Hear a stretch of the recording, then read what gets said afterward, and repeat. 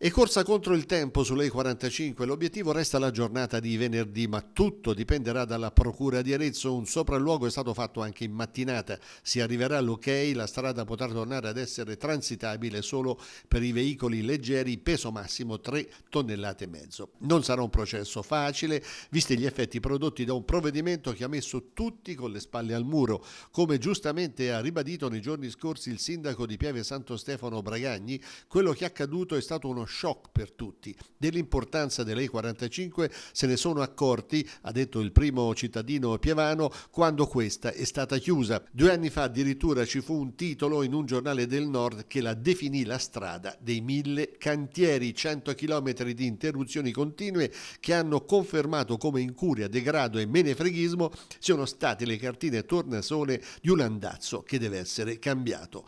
Ma l'occasione è utile anche per sanare una volta per tutte l'altro grande grande problema parallelo, ovvero le sorti della vecchia Tiberina Trebis che deve essere recuperata prima possibile. C'è chi ha invocato anche l'intervento dell'esercito. Non si può certo perdere tempo, il segmento tra Val Savignone e la Romagna è indispensabile per dare un'alternativa proprio alla E45.